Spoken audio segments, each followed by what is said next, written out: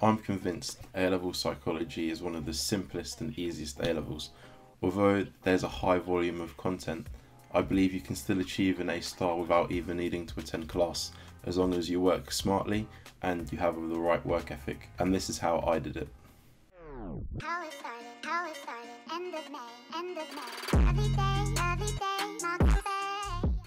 Hey guys, welcome back to my channel, and if you're new around here, my name's Sunny. Today we're going to be talking about how I achieved an A star in my A-level psychology course. Make sure you look in the description below and you browse through the timestamps and jump around in the video to bits which you find interesting or feel like will be helpful to you. First point we're going to touch on is refine your notes. From what I experienced in my psychology classes is that we'd be given booklets for each topic and this would have a lot of writing in them and some people would be tempted to like learn everything that's on those pages. But what you actually need to do is you need to take that information and condense it and refine it into the key points which are only important. What this will do is it will lower the amount of work that you actually have to learn because when you're just learning the key points that will actually score you the marks you can get through a lot more content in a shorter time by doing that. So my actionable advice would be to turn all of that information into very plain, simple English.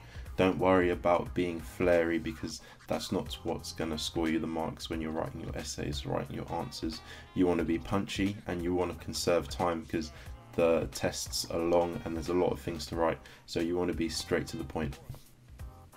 My next tip is how I went about learning all the essays and also learning all the content in um, each topic. So each topic will come with about two or three essays. And now what you can do is you can learn the essay separately and you can learn the information in the topic separately. But what I realized is that the information from the topic is actually derived from the essay and not the other way around. So if you focus solely on the essay, you will get all your essential information in there 95% of the time. There are a few things that don't make it into the essay and they'll stand out. There'll be their own little caveat to the topic and usually that will be highlighted within your lessons or in the PowerPoint presentation. Now that you're looking at your essay, the way I went about breaking this down to learn it separately is I took the AO1, which is the straight recall facts, and I would make them into separate flashcards. And then I took the three or four AO3 that's provided within the essay and turned them into flashcards.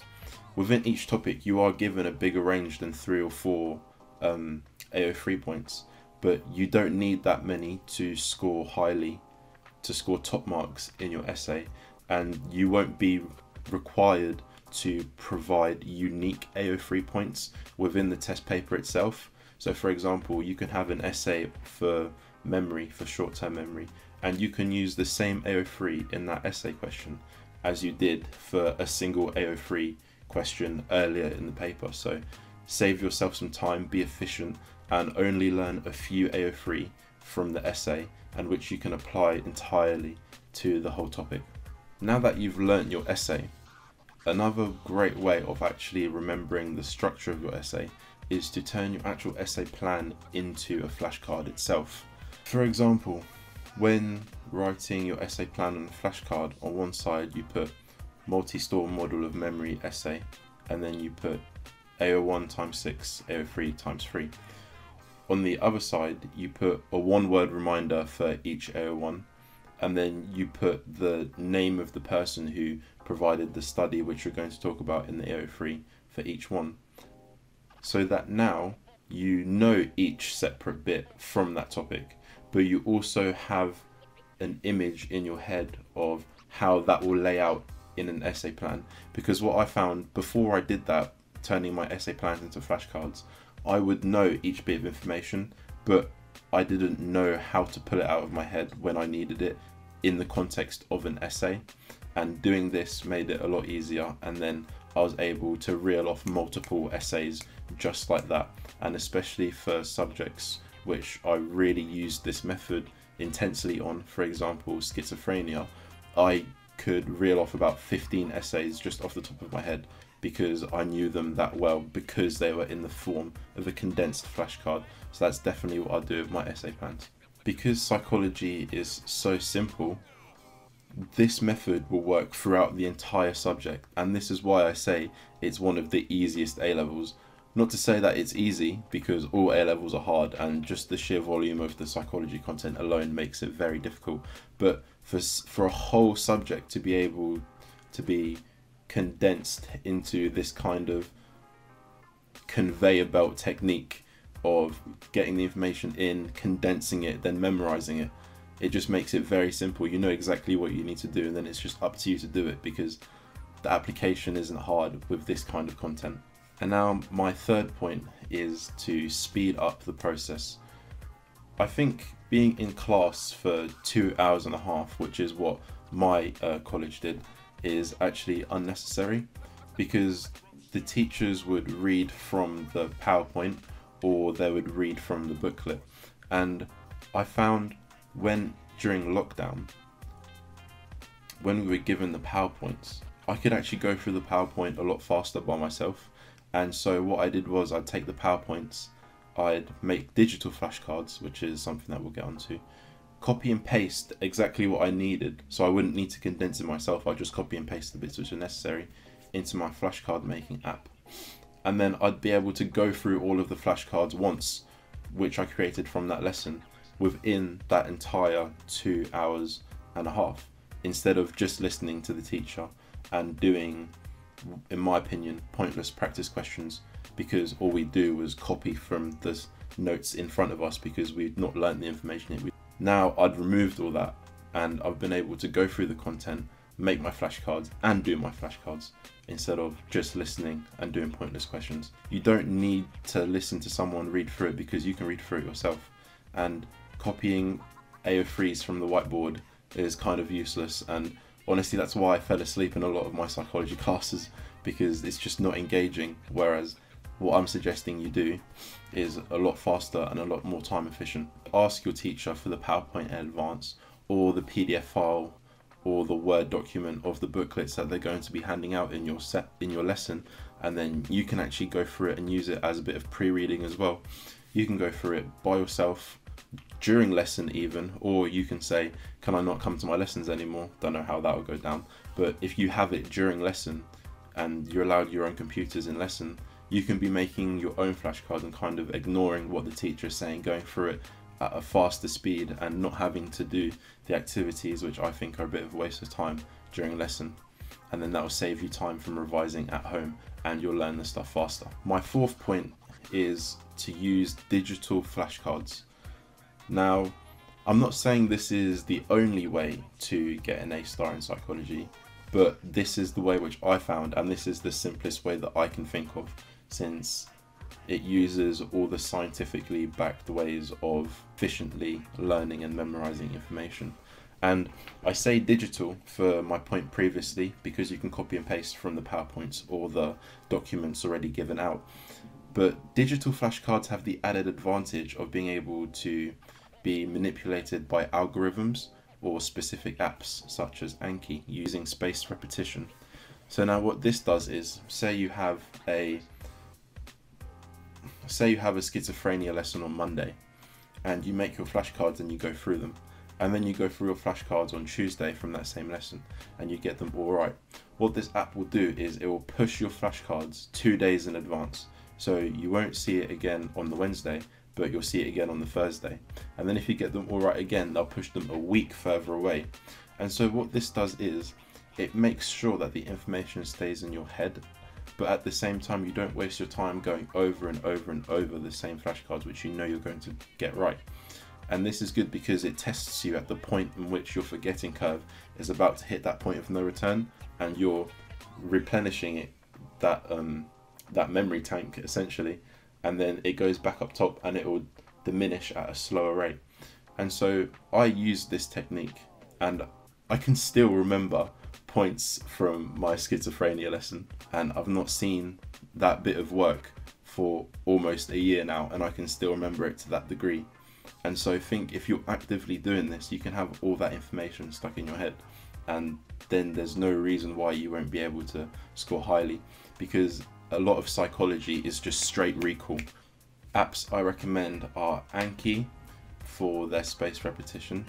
There is actually another app that is actually digital and on your phone which you can use and I actually used it for a little bit but I can't find it at the minute but I'll put a picture of it somewhere here and the link will be in the description for it. My fifth tip will be how to tackle statistics, how to choose your statistical tests for analysis in psychology. When I first came across this topic I was kind of like hmm this is a kind of rough way to learn these tests through flashcards because there's quite a lot of overlap and linkage and it's easy to mix it up. So what I decided to do is actually make a Quizlet and I shared this with a few of my friends and we all came to the conclusion that this was a great way of learning these statistical tests. We gamified it by using the snap feature on Quizlet and so we could compete against each other and try better our scores each time and the more you do this this is essentially active recall because the answer's not in front of you. You have to ask yourself and then find it. And so what this does is you're learning at the same time as actually playing a game. And so I became very good at telling you which pathway you would take depending on the different characteristics of the experiment done. I could tell you which statistical test you would need to use. And this is a great way of learning the statistical tests. And I'll actually link my Quizlet which I still have access to in the description so feel free to use it. My last bit of advice will be to use practice questions but maybe not for the reason you think. See, I told you a lot of psychology is just straight recall and so what you're actually using your practice papers for in this instance is to actually just practice writing quickly because after every psychology exam my hand would ache. And I would say to myself I really need to practice writing faster to make this experience a lot less painful. But I think that is actually something very useful that people should do. And apart from that the value of practice papers will be doing AO2 questions which are questions which you need to have an application of the AO1s which you've learned which are just discrete facts. And then also the the mathematical research methods questions because in research methods the questions can vary a lot and they're not as much as recally they're they're similar to um, AO2 questions, but not quite. But yeah, I think for practice papers, you should focus triage the AO2 questions, the maths questions, and the ones on research methods, which aren't about recall.